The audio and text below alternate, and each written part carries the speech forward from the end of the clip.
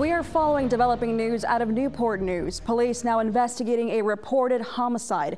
10 on your side's Deja Parker spoke to one woman who says she heard it all.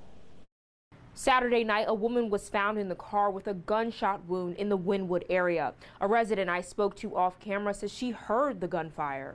I heard uh, two different rounds of sounded like rapid fire gunshot. So I called 911 and said, I believe I've heard gunshots across the street over at the apartments on Nettles. And I asked if they were getting calls, and they said yes. Newport News Police Department was called to the 12,000 block of Nettles Drive for a shooting after 8 p.m.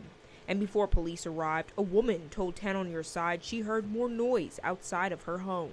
I heard screaming and some commotion, and I stuck my head out the door. And I heard a male voice. I couldn't see anybody, but I heard a male voice that said, I will kill everybody here. And that was about three minutes later, and I called 911 again um, to let them know that information um, because I didn't know.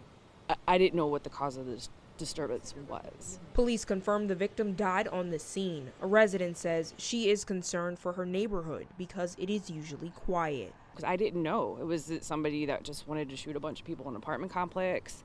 Um, I didn't know what that meant, and I didn't know who everyone was. Um, so I was very concerned. There's a lot of children around here between the apartments and our adjoining neighborhood and the bus stop. This is an ongoing investigation. If you have any information, you're urged to call the crime line at 188 Lock You Up.